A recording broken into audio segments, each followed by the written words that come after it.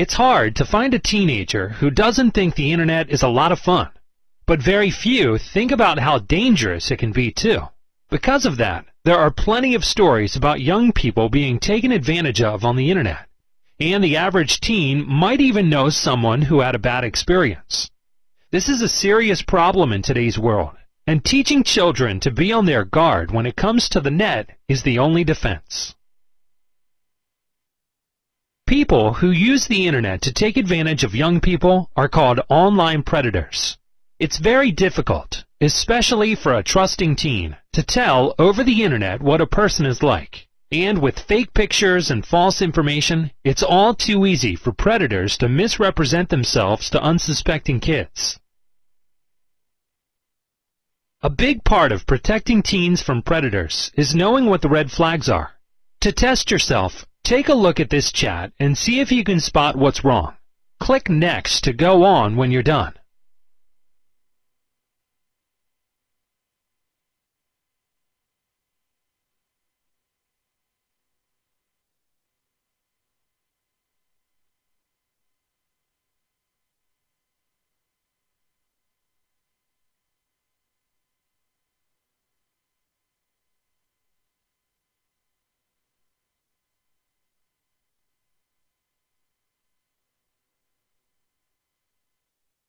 Online predators meet teens by prowling chat rooms and social networking sites like Facebook and MySpace.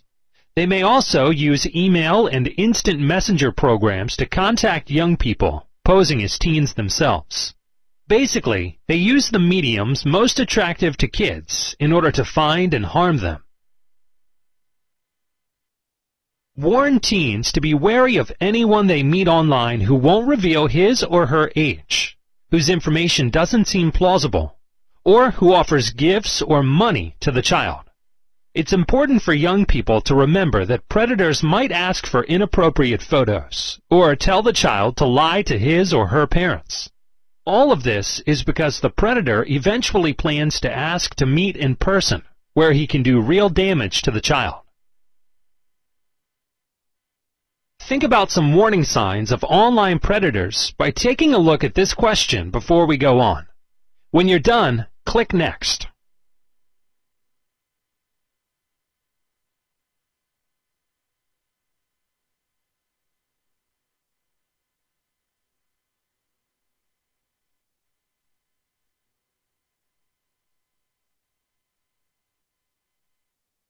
So, how do these dangerous people contact teens? Remember that even with very little information about a person, the internet makes it easy to find phone numbers, addresses, and other personal information. Once a predator knows the child's last name or the school he or she attends, it's possible to find out the parents' names, a home address, and all sorts of private information. Another way to protect teens is to make sure they keep their profiles private on social networking sites and that they only add friends from real life. And if the child does go into a chat room, be sure they stick to public ones like those hosted by AOL Instant Messenger or Skype. With these, the teen can report anyone who makes him or her feel uncomfortable. And if someone breaks the chat room rules, he or she is banned for good. No one should ever make a child feel uncomfortable on the internet. And if anyone does, the teen can always block that person and refuse to respond to their messages. If it's severe enough, be sure the child knows to tell a trusted adult, one he or she knows in real life, right away. Let's think about how to help teens avoid online predators by looking at this question. When you're done, click Next to keep going.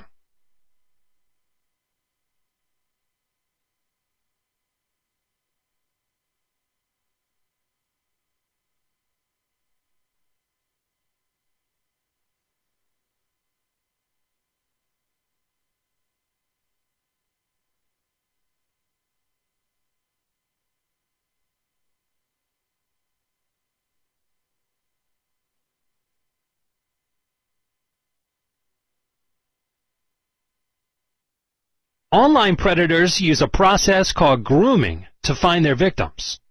The predator will first spend a long time building up trust by being friendly or charming and acting like he can be trusted.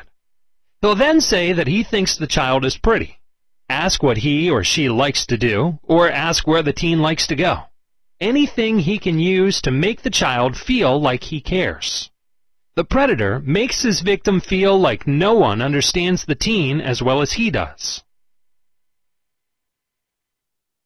And once the predator has built up a relationship of trust, generally by flattering and praising his victim, he'll finally ask to meet the child in person. If that happens, the teen will be in serious danger of being physically taken advantage of by the older, stronger predator. Let's review the grooming process with this question. Click Next to finish the lesson when you're done.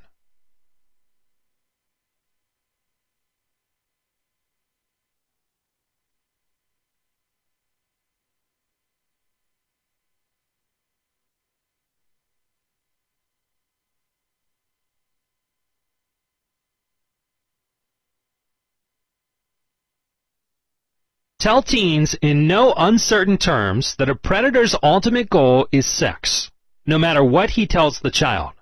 Unless young people understand how serious the danger is, they are liable to be fooled by flattery, praise, or the offer of gifts and money.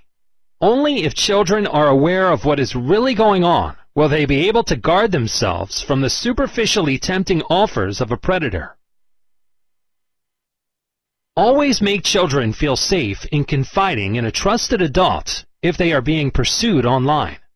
And if the child needs immediate help, he or she can always call the police right away. It just might be the difference between safety and life-threatening danger. Here are some real-life examples of how the concepts discussed in this lesson could be used in a classroom, either as a teaching tool or an administrative aid.